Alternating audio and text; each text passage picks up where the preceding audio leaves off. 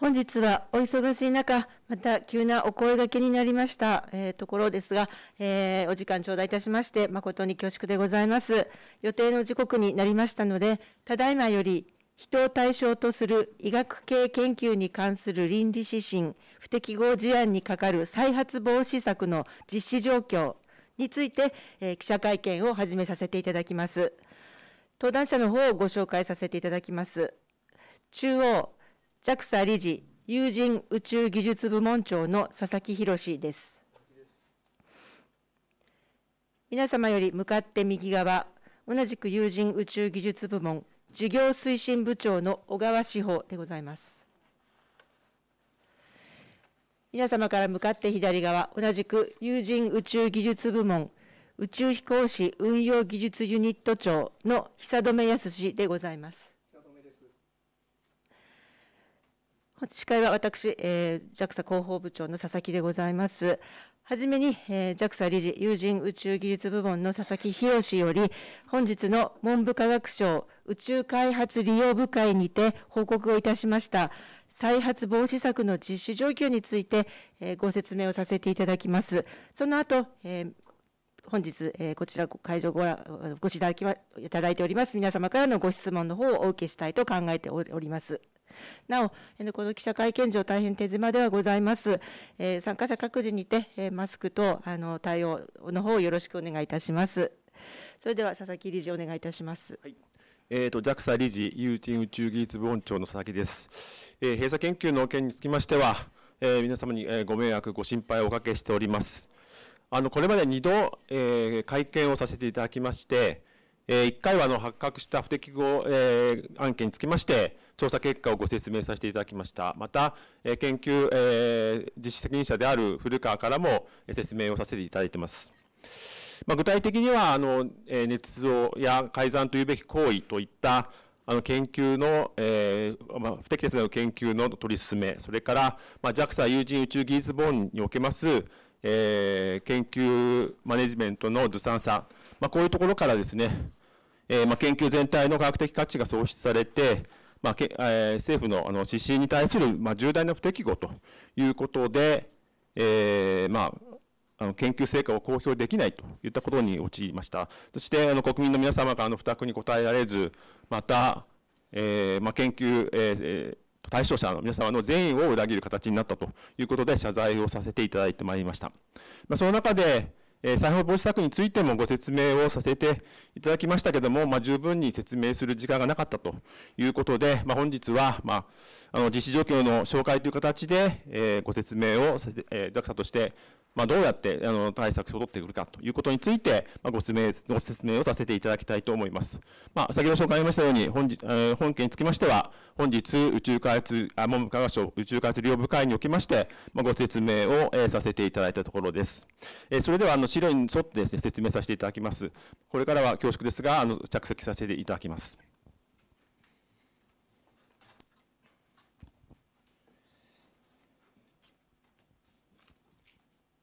はい、えーと、投影しているのが、あの本日、えー、宇宙開発領部会でもご説明されている仕様で、まあ、この不適合事案に関する再発防止策の実施状況についてということで、えー、ご説明させていただきます。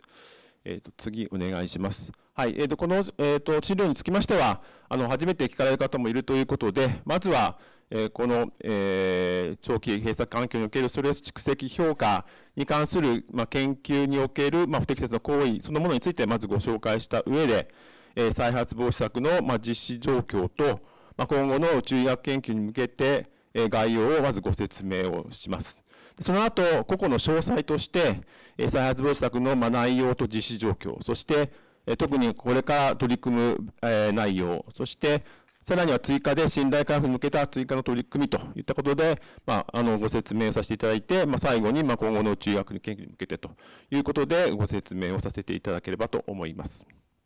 次お願いします。はい、ここはあの、えー、と振り返りになりますけども、えーまあ、昨年11月にごあご説明させていただいた、え、不適切な行為、研究行為についての、ま、ご紹介になります。ま、この、え、長期閉鎖環境におけるストレス蓄積評価に関する研究につきましては、えーまえー、ご案内通り将来の有人惑星探査における自律的な精神心理評価手法の確立を目的とした研究です。えー、遠く、えー、月、えー、それが火星に行きますと、地上からの更新も十分ではないということで、自律的に、ま、精神心理を評価するといったことを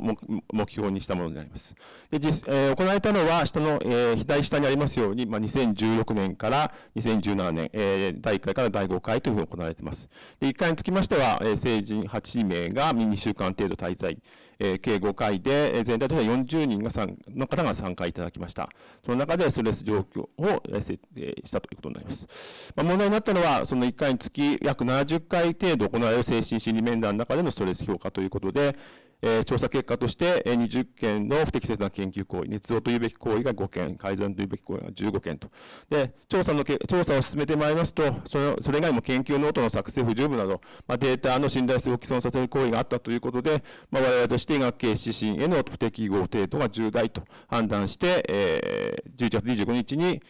えー、文部科学大臣、それから厚生労働大臣に報告させていただいているということで、あのご存知の方も多いと思いますが、あのこれを振り返りになります。まあ、右側の、えー、JAXA の組織図ですが、えー、私の所長しています有人宇宙技術門で行起こった、まあ、事案ですけれども、このえー、基本的にはあの国際宇宙ステーションの運用、利用といったところを取り組んでますが、まあ、その中で有人宇宙、えー、技術に関する、まあ、研究開発も行っているといったところで、ここで、えー、起きたということになります。また、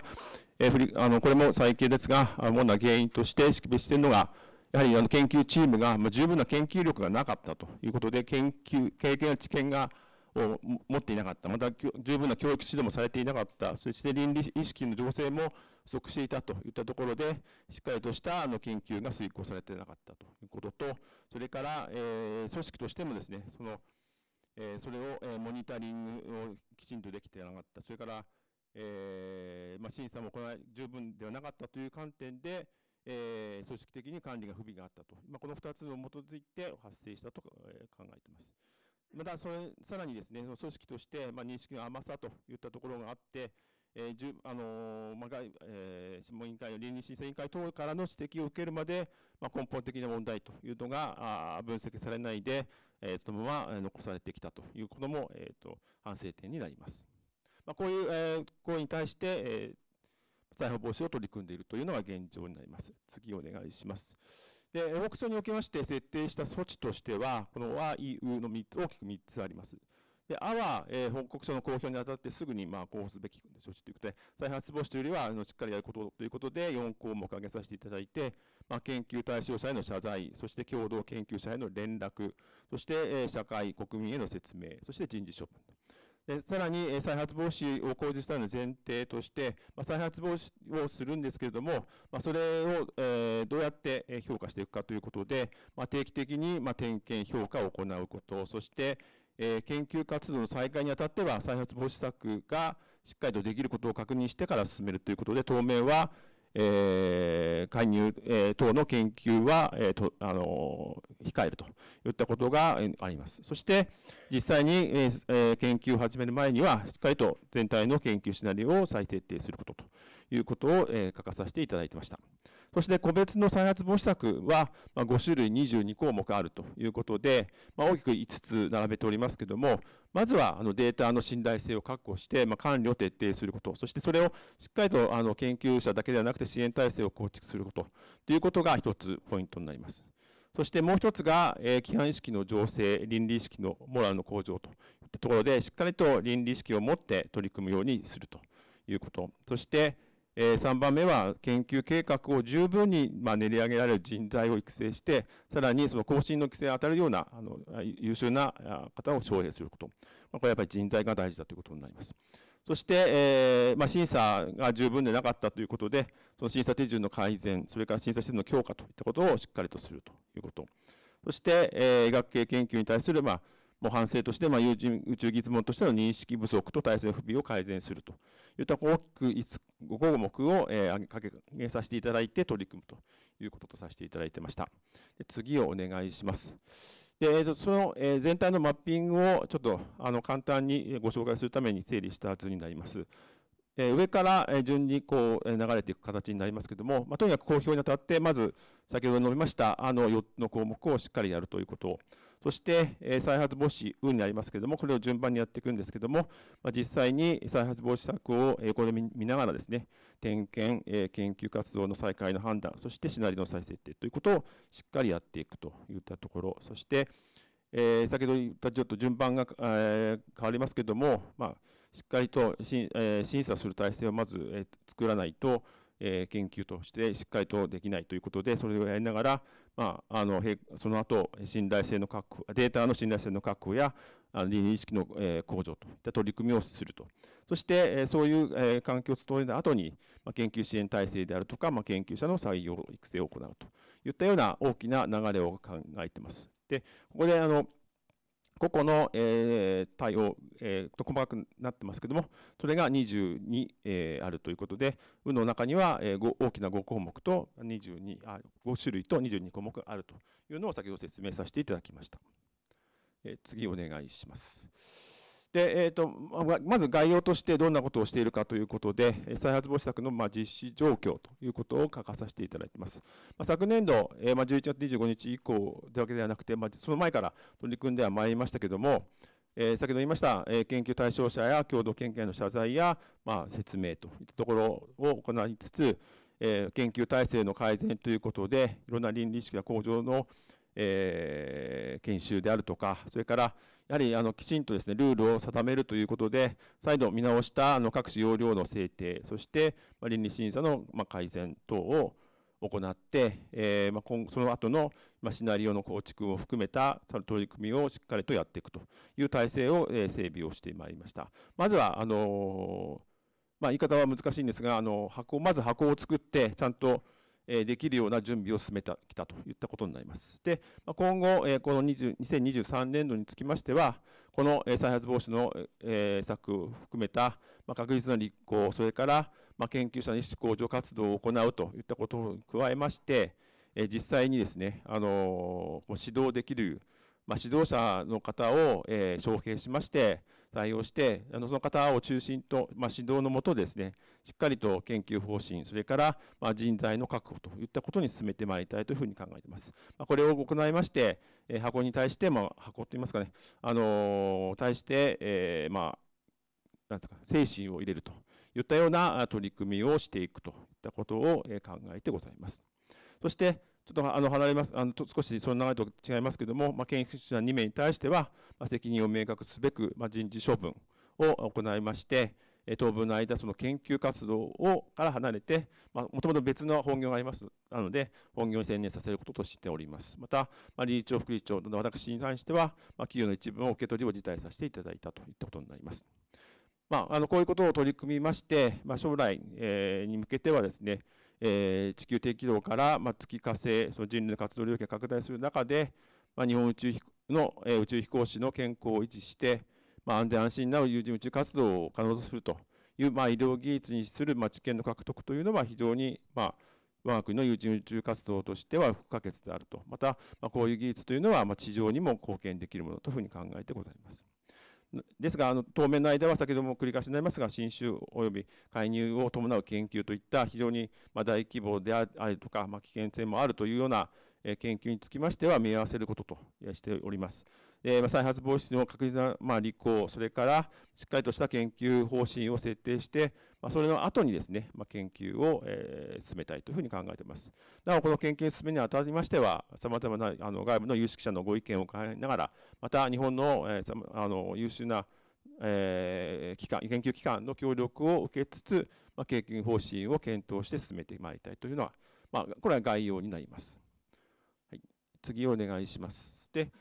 具体的にまあどういうことをしてきたかというのをちょっとあの、えー、紹介をさせていただきます。まず、公表にあたって講ずべき措置として挙げて4つですけども、まず研究対象者への謝罪ということは、えー前えー、第1回の,、まあ、あの説明会、えー、記者会見の後にですね、説明会を開催しまして、まずはその報告した内容、研究遂行にあたって不適切な行為があったということを謝罪をさせていただいています。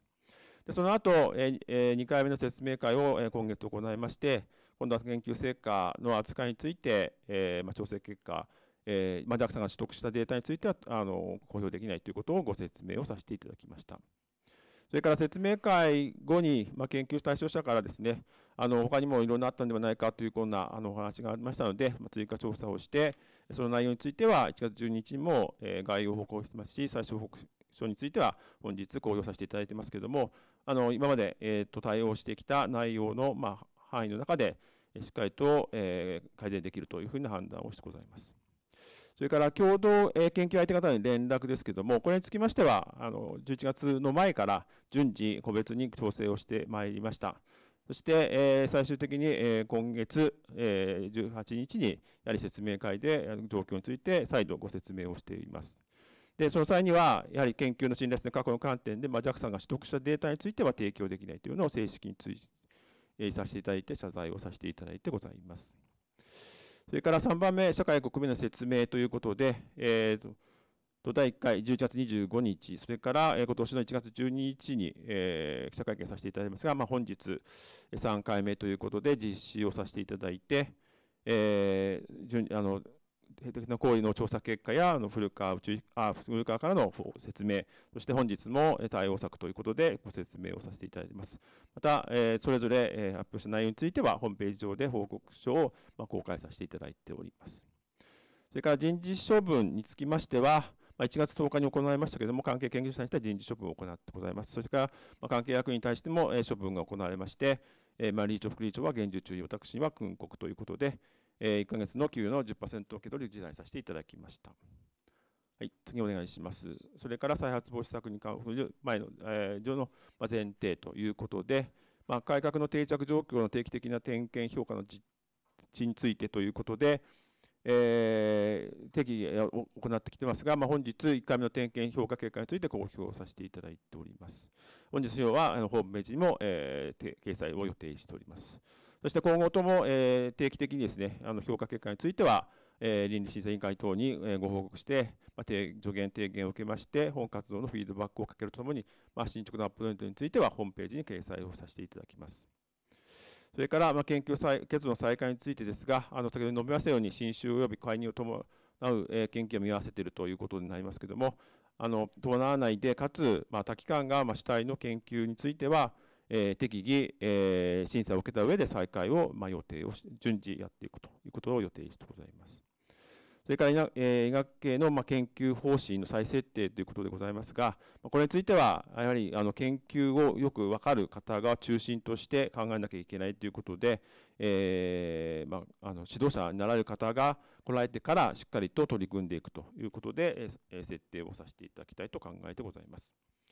はい、次お願いします。それから再発防止策5種類22項目になりますが、まずデータ信頼性の確保と管理徹底支援体制の、えー、構築ということで、えー、ちょっと順番が逆になりますが、まずはデータ管理手順の明確化と、まあ、定期点検の実施ということで、こういう管理要領であるとか、えー、点検要領については制定をして、まあ、事務局も含めて点検、あのその内容について確認を行って、えー、環境を整えつつあるというところになります。さらに、まあ、データ管理に関しての、まあ、手順書も制定をしまして、まあ、今後、そういうデータ管理についての講習会を行いまして、えー、その後、まあ、データ管理の責任者を配置して、しっかりとデータ管理を、えーまあ、研究者と独立にしっかりと持たせるようなあの機能をつくあ構築していこうというふうに考えてございます。それからあの規範意識の醸成、倫理意識のモラルあのモラルの向上ということで、あのまあ、研修につきましては、まあ、従来から行ってきてますけれども、えー、11月25日に公表させていただいた後に、まあ、全社に向けての説明会を行っています。500人以上の方が参加をいただきました。それから、まあ、従来の講義の研修も、えー、100人近くを行ってますけれども、合わせてより深く理解をしてもらうということで、インタラクティブにいろんなディスカッションをしながら行う倫理研修、えー、64人、あのまあ、研究者だけではなくて、まあ、研究をに関与する、まあ、あのサポートする方とか、あのチェックする方も、含めてですね、参加をもらいまして、まあ、64人が参加をしています。今後も年、ね、2回程度、継続的に実施をして、しっかりとモラル、それから倫理の向上を図っていきたいと思います。本研究に関与した研究者につきましては、エイプリンの研修を追加で受講してもらって、意識の向上も図ってもらってございます。それから、えー、倫理に関するまあ普及啓蒙活動というのもしっかりとやるということで、えー、友人宇宙技術本の中では研究不正の防止ポスターを、えー、改めて、えー、と準備しまして、えー、掲示して理解をさせるともにあの傾向用のカードも準備して、えー、全員に配布して啓蒙活動を進めてございます。あのメールの配信等もあの適宜行ってますし、まあ、説明会を通して理解を得ると思うにですね、あの私から、まあ、あの関係者に対しては個別に面談をして、その辺のあの意識の向上を図らさせていただいてございます。それから、えーとまあ、3番飛ばしまして、あの利益相反マネジメントの充実ということで、あのまあ、研究に関しては利益相反マネジメントも重要ということで、改めて、えー、と認識しましたので、これについてもしっかりとあのマニュアルを整備して研修を行っています。これも、まあ、年1回程度継続して行おうと考えています。そして、その後、えーまあ、現在、研究対象者保護の強化ということで、えー、研究対象者に対しての、まあ、医学的な観点での、えー、マニュアルを制定をしていますが、それに加えまして、えーまあ、JAXA としてはあのいろんなあの宇宙ステーションでも安全審査を行っていますけれども、医学的な観点での、えー、委員会を設置しまして、十分医学的あの医学的な安全性を確保するという委員会を設置する予定にしています。そして、それも踏まえて、ま、研修も実施する予定にしてございます。次お願いします。それから医学系研究者の採,、えー、採用育成ということで、やはり魂を売るためにはしっかりとした方に来ていただくということで、えーまあ、牽引して、まあ、育成に当たるような研究指導者というのを、えー、上半期中にはあの採用来ていただきたいというふうに考えてまして、まあ、その方と、えー、共にですね育成方針を作って、え具体的なの採用活動につなげたいと考えています。また、そういう方たちの支援体制もしっかりと充実したいということで、まあ、組織的にもあのグループをしっかりと改装しまして、えー、研究者に対してはデータ解析の、まあ、や管理の支援をするような体制を構築するということを考えてございます。それから D はあの審査の手順、審査システムですが、えー、基本的にあの倫理審査委員会というのが重要ということで、まあ、あの事務局の能力強化については、す、で、に進めてまいりました。新たにあの優秀な人材も採用してですね、あの強化を図っているところです。あとはこの、えー、倫理審査の、えー、関する、まあ、いろんなマニュアルや、えー、規定というのも改善をしていまして、えー、引き続き取り組んでまいりたいと考えています。そして最後、友人内部の研究支援体制ということで、えー、こう支援をする人材の育成ということで、えー、いろんなあの職員に対してですね、あの資格等でしっかりと自己研鑽してもらってですね、研究の再開にあたって、えー、サポートするとともにですね、あのやはりあのいろんなことが、仕事が動いてますので、まあ、重要業務が兼務しないような、まあ、人事配置というのをまあ考えていきたいというふうに考えております。また、あの役割の明確化ということで、しっかりと、あの先ほど繰り返しになりますが、研究する人、それから管理、支援する人、そして、全体をマネージするというような形で、しっかりと体制を組んでですね、え、確実な、え、研究が進められるような体制を構築するということを考えてございます。はい、次お願いします。そして、えーとまあ、2023年残った取り組みですけれども、あのちょっと繰り返しになりますけれども、やはり医学系の、えー、医学研究の体制の見直しということで、えー、研究指導できる方のもとですね、しっかりと、え、できる体制を構築すること、その中に、まあのデータの、え、管理支援、研究支援の体制を充実するということが一つ、それから、えー、そのディレクターのともにですね、あの研究方針を作って、まあ、人材育成の方針も設定して採用していくといったところになります。はいえー、と次お願いします。それから電気、えー、データ管理能力の向上ということで、これにつきましては、もう管理手順も制定してですね、ま、徹底を図るために、ちょっと少し遅れましたけれども、来月、講習会を開催して、えー、徹底したいというふうに考えています。それから、えー、安全性の確保につきましては、えー、医療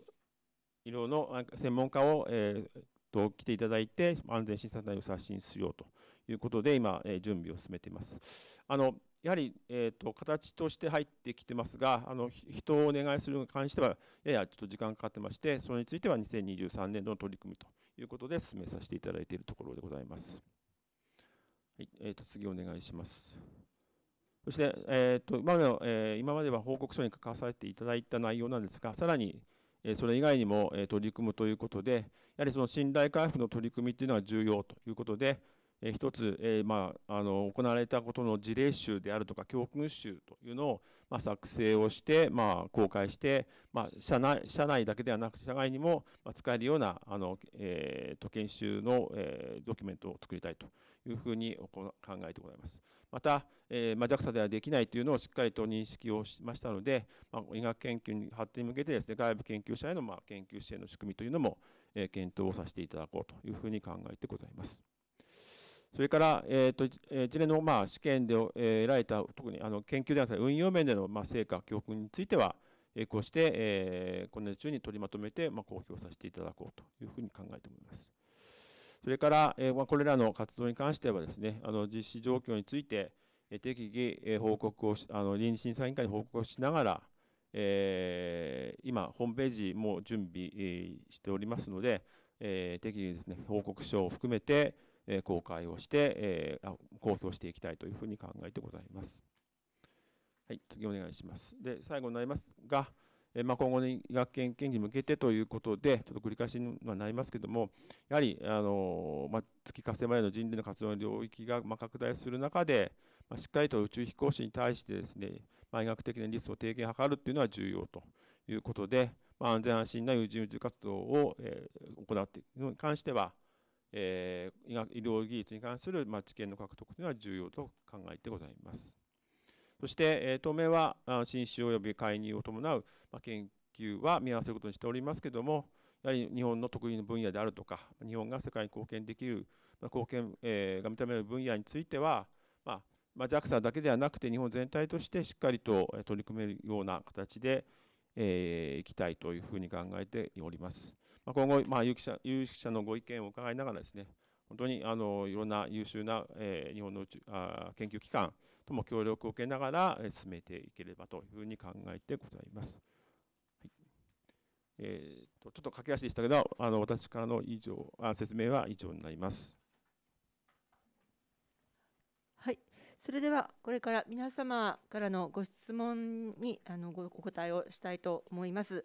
えっと、ご質問ある方は挙手をいただければと思います。で、あの冒頭にあの社名とお名前と、それから誰宛ての質問になるかということをあのおっしゃっていただきますようご協力をよろしくお願いいたします。また、1回の質問については2問あのまでということで、あの3問以上ある方は3問目はあの次の2回目の質問ということで、よろしくご協力をお願いいたします。それではご質問のある方挙手をお願いいたしますじゃ田さんどうぞあ NHK 絹田です。あの佐々木理事に、えーと、お伺いします。あの部会での報告も重なってお疲れのところ恐縮ですけれど。あのえーと、今日の一連のご報告の中で触れられていなかった点でいうとあの古川飛行士のフライトの予定ですけれども、えーと、今年中にもフライトの予定があるかと思いますが、この予定があのの変更があるかないか、で特にない場合ですけれども、まあ、こういう一連の事態を引き起こしたそのチームのトップの責任者であるにもかかわらず、フライトの予定がないことについて、えーまあ、どういう理由で、えー、そういうご判断をされているのか、あの国民の理解という意味でも、えーと、そこの補足の説明いただければと思います。これがまず1点目です。あ1点ずつ伺えてきますか。あじゃあもう1点。えっと、最後ですね、あのえー、と4項目14ペ、14ページ目ってもう触れられてますけれども、えー、とまあいろいろなあ、まあ、理由があってこういう医学研究を続けると特に来年度以降本格的に再開するとおっしゃってますけどこの点ですねあの、まあ、改めて、どういう理由で JAXA としてこういう医学研究が必要を進めていくことが必要とお考えになっているのか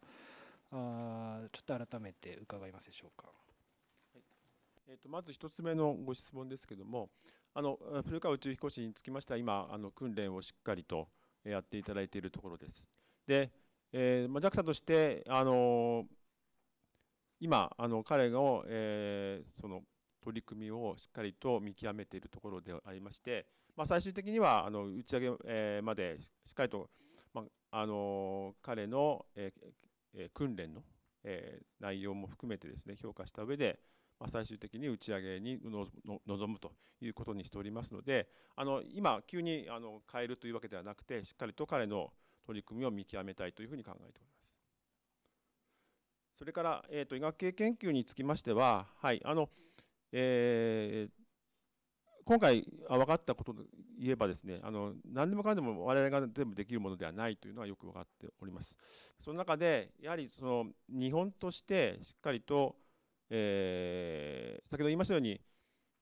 まあ有人宇宙活動というのが、まあ、月それが火星にま広がっていくことそれから、ま、民間も含めて地球的軌道で、え人が、えこう進出していく中でですねこの医学宇宙医学の役割が大きいと。考えてます。まあ、その中で、まあ、にあの世界、まあ、人類の、えー、進出において、まあ、日本の、えー、医学の果たす役割は大きいだろうということはあの各方面から言われておりますし我々もそう思ってございます。その中で、えーまあ、できるできないというのをちゃんと見極めながらですねあのリソースの問題もありますし、え、そういうところであの適切にあの進めてえー、研究を進めていきたいというふうに考えてございます。あの闇雲に何でもやりたいというわけではなくてですね、あの適切にあのあの、まあ、言い方は難しいですが、身の丈のあった形でしっかりと取り組んでいきたいというふうに考えています。はい、ありがとうございます。では次、どうぞ。はい。えー、毎日新聞の鳥居と申します。えっ、ー、と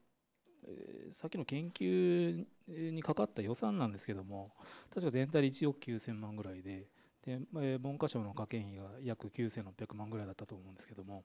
これについてあの返還についてはどういう状況になっているのかということとあとあの当該の研究データを使った論文についてはあのその後取り扱いはどうなっているんでしょうか？あの佐々木理事で回答させていただいてよろしいでしょうか？はい、お願いいたします。はい、あの研究室につきましてはあのえっと、初回で、えっと、1億9000万ということであのもいただいたということですが、あのえっと、その後もともとですね、とえっと、これあの使った分だけしかいただけないということで、えっと、全体としては1億6000万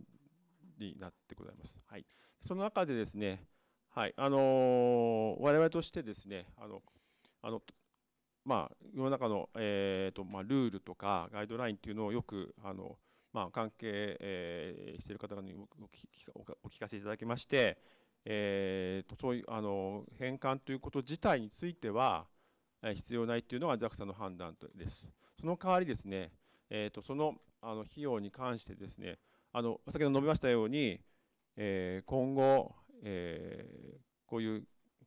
研究倫理の問題に関してしっかりと、えー、教訓をまとめてですねそれを教材に皆さんに使ってもらうような取り組みに、ま費用を使うことそれから、え、さらに、ま我々だけではなくて多くの宇宙医学の研究者に対してしっかりとですねあのリソースも含めたあの支援をしていくといったことで、え、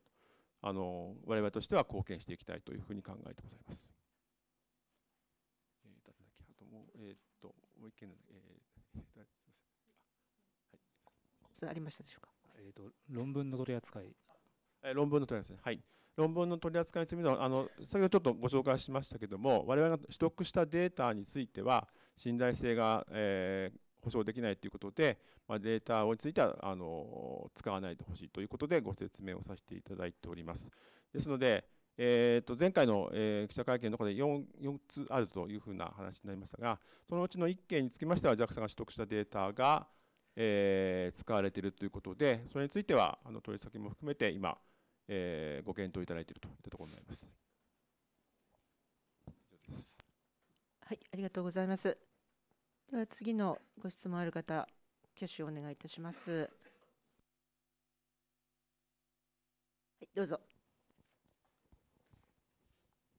すみません、共同通信の七井と言います。ごめんなさい、ちょっと確認なんですが、その新種や介入があるその医学研究はまあ当面行わないというふうな話だったんですが、確かこの件、その中止をした判断が19年の11月だったと思うんですけれども、あのそれ以降でもですね、今日今日に至るまで、そういったその新種を伴うような医学研究というのは、やってて今回やめるっていう話になるんでしょうか、それともその19年の時点からもやってはいなかったんでしょうか？あのえーと、ちょっと難しい JAXA としてはやってません。ですがあの例えばあの希望利用とかであの外部の方外部のあの研究者の方が宇宙飛行士を対象にして研究されていることはありますのでちょっと詳しくはちょっとあの、えー、JAXA の方であの希望利用のテーマ公募というのを行っております、まあ、テーマ公募フィジビリティスタディテーマ公募という仕組みがあるんですけれどもこれはあの、えー、あの応募していただいて評価を受けてその中から選ばれた実験を行うとその中には宇宙医学人を対象とする研究もございますそれそれは基本的には研究者外の方大学の方が、えー、主たる研究提案を持っていることで我々 JAXA はそれをどのように宇宙のところで実施できるかというインテグレーター的なところを行っておりますのでその意味での実験は行ってまいりました。が JAXA が主体的に行う研究についてはそれあの2019年以降この閉鎖の事案の以降は、えー、ストップさせてあの新集会に行うようなものはストップしているというものになります。お答えになりますでしょうか？くどくて申し訳ありませんだから JAXA 主体でやっているものはその希望以外であったけれども、はい、あの19年のその11月の中止を受けてもやってまあ、見合わせるようになっていたという状況ですね。はいりがとうございます。ご質問いかがでしょうか？畑中さん。日本放送畑中です。えー、っとこれもすでに出ている話だったら恐縮なんですが、この6ページですか、この研究ディレクターというのは、なんかこう異業種から採用される、あるいはなんか資格とか基準みたいなものってあるんですか？まあ、研究ディレクターもちょっと過小なんですけども、まあ、そういう意味ではあの指導者としてあの、まあ、JAXA にではいないその医学あの、まあ、臨床研究を含めて医学研究の、まあ、知見を有されている方を招聘して、えーえー、ディレクターとして来ていただこうということになります。これからですか、もうこれからこれからです。はい、今あのいろんなことにあの方にお声掛けをさせていただいてますけれども、あのやっぱりあのいろんな個人の事情もありますので、まあ、すぐにというわけではないので今調整中になります。特に資格とか基準とかそういったもの？えーと、資格とか資格というのは特にないんですけどもやはりその医学系研究今回の問題で、まあ、分かりましたの医学系研究に関しての知見とか経験をしっかりと有している方に来ていただきたいと思っております。あとあの研究者2名にこう本業に専念させることとしたって書いてあるんですが、えー、この本業というのはもちろんその人物の特定に特定がされない程度にどどんな本業なのかちょっと具体的に分かりますでしょうか、まあ、あの有人宇宙開発の中でしっかりとあの業務がいろいろとありますので、まあ、そちらの方の業務あのあの前からこう兼務でやられていたのでしっかりとあのその有人宇宙開発の他の分野に対してこう取り組んでもらうということとさせていただいています。でいわゆる人事異動というようなあのレベルではなくですのでその医学研研究の併任はもう全部解除していると。有人宇宙活動のグループの中の一員というこ、はい、立場は変わらず、えー、はい、技術部門の中ではいますけれども、はい、ありがとうございます。はい、ありがとうございます。あ、じゃ先に。はい時事通信の神田です。あの4月28日付、本日付であの最終報告書の公表というのが書いてあるんですけれども、書いてありましたよね。えっ、ー、と、ですね、あの、えっと、よちょっとページ、ね、はい。わかります、わかります。はい。下は、はい。あの研究対象者の方から、うん、えっ、ー、といただいた情報に基づいた、はい、調査を、えーと、あの追加で行ってます、はい、これ今のホームページに出ているもうすでに出てますがあの研究対象者からの連絡に基づく調査報告書っていうこのこれを指して最終報告書と言っているわけで、あの前回11月に出した報告書を何かあの上書きするとかオーバーというわけではないわけですね。わ、かりました、はい。それとですね、えっと再発防止策の中でその宇宙医学研究シナリオ、研究方針の再設定っていうのがあるんですけれども、この研究方針っていうのはその具体的にどういうレベルのものをどんな内容であの書かれているものなんでしょうか？はい、あのやはりあのまあちょっと専門家ではないのでなかなか説明難しいんですが、まあ、宇宙医学っていうのはいろんな分野がございます。その中でやはりその国際的な動向も踏まえてどういうあのところをまあ日本としてまあ狙っていくかといったところがあの一番ポイントかなというふうに思ってます。で JAXA の、えーと、能力というよりは日本としてあのどういう分野が、まあ、こう強いかそこをやっぱりそれで、えーと、人類の宇宙進出にこう貢献できるかという観点で、まあ、検討させていただいているということになります。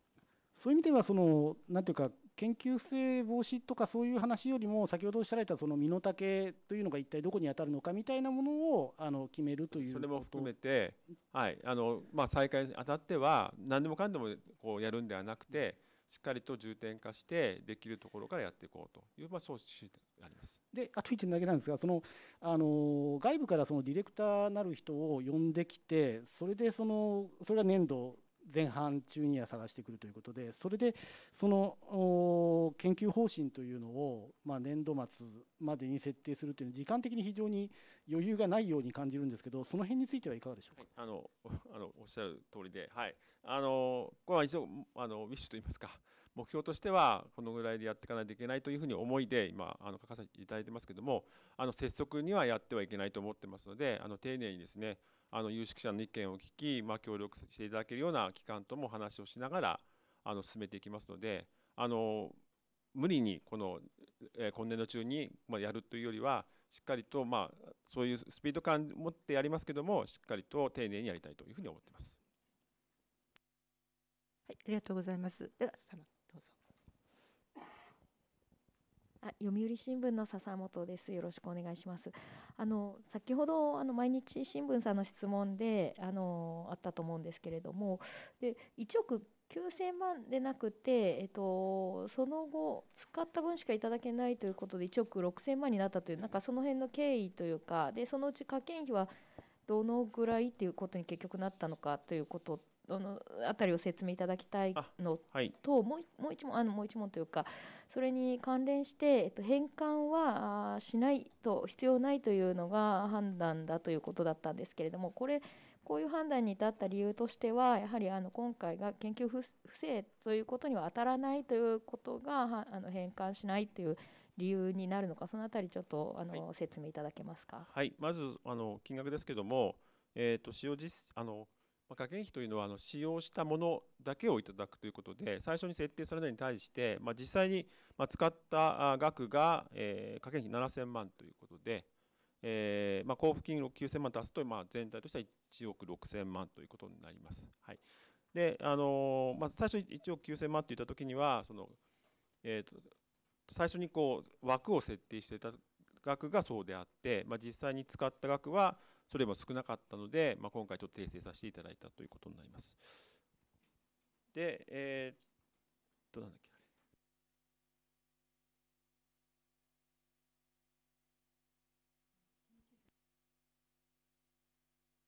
しないということに関して言うと、あのまあ、あの返納にあたっては最近もありましたけども、特定不正という行為に関して、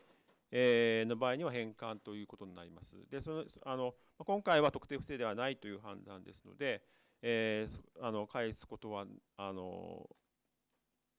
まあ、あの義務ではないといいますか必要ではないという判断のもとで、まあ、あのただ我々としてはあのそのしっかりと成果が出せなかったという、まあ、反省がありますので、まあ、その部分につきましてはしっかりとですねあの、まあ、医学宇宙医学の、まあ、全体に対してしっかりとその代わりの費用を使ってですねあの研究倫理の、えー、情勢それからこれはもう JAXA だけではなくて全体として情勢に貢献するそれから実際にあの研究を推進するのに貢献するといったことに、えー、あ費用を使っていきたいというふうに判断をしております。関連してその、えっと、費用を使うっていうのはこの1億6000万のうち使っ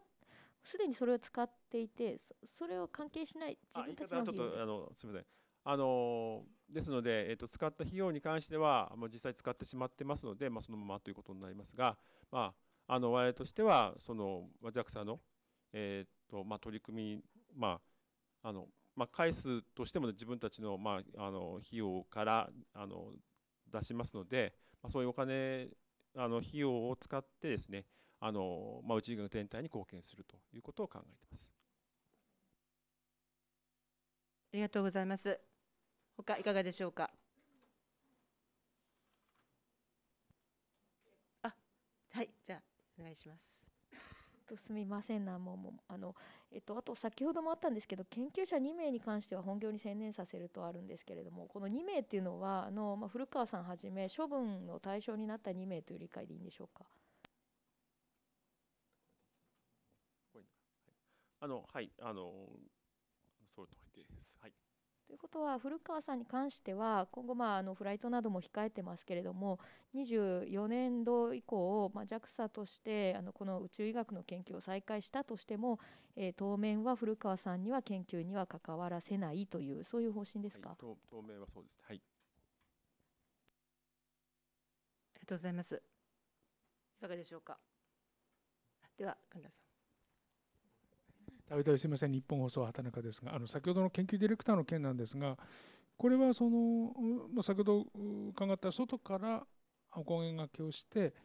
結局 JAXA の職員として迎え入れるということでよろしいですか？はい、あのご本人が了解いただければ、あの JAXA の職員としてはお迎えしたいと思ってます。いわゆる兼業とか兼任ではなくてという。あ、あのそこはあのまあご本人のご事情にもよると思いますので。あの完全にあのフルタイムになるのかあの、まあ、非常勤という扱いもあると思いますのでその辺はあのあのいろいろとあのご相談させていただいていこうと思ってます。これはあの古川さんのお立古川さんの立場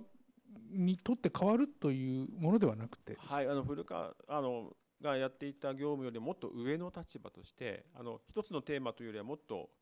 あの上の全体をこうあの計画をまあえー、立てるというそれからあの全体のあの育成方針を立てるという意味では、まあ、あの私もしくはあの理事長に対してしっかりとこう言えるというぐらいの立場の方と考えています。ということは責任者はまた別に立てられるってことですね古川さんが。あのはいあの実行の,、えー、にの、まあ、責任者につきましては、まあ、その方とよく相談をしながらあの人選していくということになると思います。その責任者の方はまだ決まっていないあのまずはその指導者の方を、えー、決めてからあの順次こう決めていくということになるとじゃあ指導者の方の、まあ、意見も取り入れた上で責任者を改めて決めていくとこういう流れですか？はい、あ分かりましたありがとうございます。はい、ありがとうございます。でどうぞ。はい。毎日新聞の鳥居です。えっと先ほどのあの質問の中で出たあのえ変換せずにあの教材を作るというところの費用の部分なんですけどこれちょっとよく分からなかったんですけどその1億、えー、6000万ですかねの内訳の金額を使うのではなくて別のお金を使さらに使うということですか？はいあのちょっと説明が難しい。あの、はい、今使った費あの先ほど1億6000万というのはもうすでにあのまあえー、装置であるとかいろんな借金であるとかにも使ってますのでそのものはもう全て今使われてますのでそれではあの JAXA として、えーまあ、自己収入としてですねあのあの予算ではなくて JAXA として、えー、とかあの費用あの集めたお金を使ってそこを、えー、その費用で、えー、そういうことをしていきたいというふうに考えております。の一つまだあの、えー、先ほど教訓集という話はあの実例としてお話ししましたけれどもそれであのあのお金を使うというむしろこれは事例集は我々が今回のことで起きたことをちゃんと知っていただくためのものであるのでそれにお金を使うというものではなく、えー、先ほどのどこの収入あの自己収入というのは、まあ、我々、えー、いろんな企業さんからいただくお金とか、まあ、いろんな収益で上げるお金が出てくるんですけれどもそういったものを使いつつ、まあ、友人部門として、えー、今回の科研費も含めたことによって、まあ、多くのお金が使われてしまったのでそれによってだあの他の研究のお金ええ外部の研究者の方々が宇宙医学に、ま、取り組むことに対して、え、何だろうと思われ思ってしまう可能性も出てきます。そういったことも考えて宇宙医学の研究を発展させるために外部の方々が、え、研究にに参加できるよう何らかの支援策それが研究費なのかあるいはどういう形になるかこれから先ほど言った研究リーダーディレクターの方々とも議論をしてどういう形が一一番いいかをこれから議論したいと思うんですが我々としてはあのそういう宇宙医学の発展のための活動に、え、当てていきたいそのそれが自分たちが使うというものではなくて、え、外の研究者あるいは大学企業の方々が使える仕組みのために使いたいということを考えているというものです。でただ詳しいことは今の時点で、え、これから議論していきたいと思うので今いろいろとサウンディングしているという状態だということで、えー、これ以上申し訳ございません。あとすみません、もう1点なんですけど、あの古川さんのフライトの予定の質問で、取り組みを見極めたいというご発言ありましたけども、これは要するにあのフライトの変更もあるという意味でおっしゃってるのか、変更は変更しないけども取り組みを見極めるという意味でおっしゃってるのはどどちらの？あの確定的なことは言えなくてですねあの宇宙飛行士は常にあのいろんな訓練とかそういうのを評価されてますので、まあ、あの現状としてはしっかりとあの、えーまあ、あの彼が第一候補であるのは間違いないです。ただあの常にバックアップもあの準備されてますのであの何か問題があればあの見直すということはあり得るとそういう趣旨で述べさせていただきました。はい、ありがとうございます。他いかがでしょうか？どうぞ。えー、G 通信の神田です。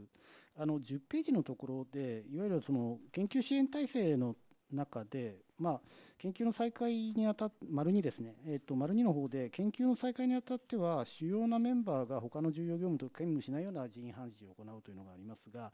そうすると例えば古川さんのように宇宙飛行士でありながらこういったその宇宙医学の研究とかに携わることができなくなるという理解なんでしょうか確か古川さんはその当時はまだアサインもされていないですけれども当然飛行士としてのその技量維持とかの訓練とかそういった業務もあるのでそうなってくるとまあ金井さんとか今度来るその諏訪さんなんかも含めてなんですけど、まあ、医師の方でそういう宇宙医学の素養をま持っている方がでかつその ISS に滞在の経験があるとかそういった方がこういったその研究にこれからその加わるというのが難しくなるんじゃないかと思うんですけどその辺りはどういうふうなバランスを考えてるんでしょうか。はい、あのまずはですね当面はいろんなあの当時はいろんな支援体制もなくてですねかなりあの大変だったと思います。まあ、今後ですあのいろんな支援体制とか構築するので、まあ、そうなった時にどうかっていうのはまだあのあの決まってません。ただ現時点の状態であれば当然あの十分にですねあの兼務でできるような仕事ではないだろう研究がないだろうという判断のもとで今は少なくともさせられないということでお話をさせていただきます。その、えーとまあ、研究の代表者とか責任者という立場だけじゃなくて、まあ、何らかの形でその研究チームの中に加わるみたいのもちょっと難しいという理解ですかあのなかなか宇宙飛行士の。言い方難しいんですが、例えば宇宙飛行士も研究対象者として、まあ、ある意味あの研究チームのに入るということもありますので、あの全く何かそのもう全く縁が切れるというわけではないと思います。はい、ただしそういうあのしっかりとこうリソースをかけてしっかりと研究するというのは、まあ、現時点は難しいという判断です。わかりました。ありがとうございます。いかがでしょうか？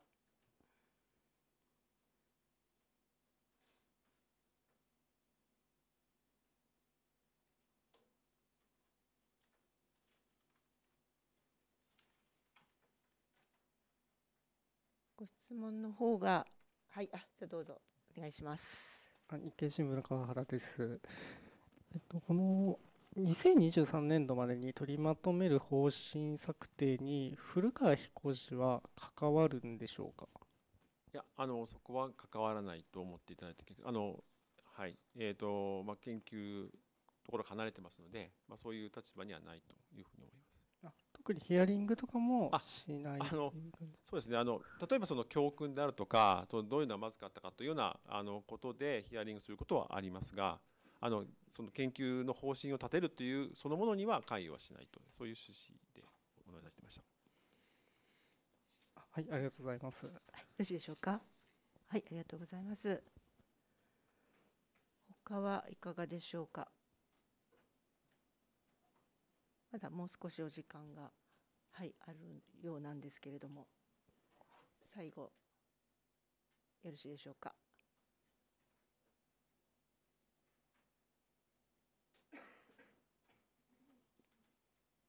はい、それではあのご質問の方が、はい、あの皆様お尋ねされたということで、はい、あの本日の、えー、質疑応答の時間の方はではこれにて。終了とさせていただきたいと思います。では最後に、はいあの、はいはい、あの繰り返しになりますが、あの医学系研究に関するあの、まあ、研究チームのあの研究力のなさといいますか、あのまあ、倫理士の、えー、が不足していること、それから、まあ、有人宇宙技術門の、まあ、研究体制の不備だったと、取り組みが不十分だったということに、あまあ、よりましてあの、非常に重大な深刻な、まあ、事態に招いたというのは、本当に深く反省しています。で先ほど述べましたようなあの再発防止策、それから取り組みをしっかりと、えー、行うように努力してまいりますので、まあ、引き続きあの、まあ、ご指導のほどよろしくお願いしたいと思います。はい、ありがとうございました。ありがとうございます。それでは以上をもちまして本日の記者会見全体の方を終了させていただきたいと思います。改めまして本日はお忙しいところお集まりいただきまして誠にありがとうございました。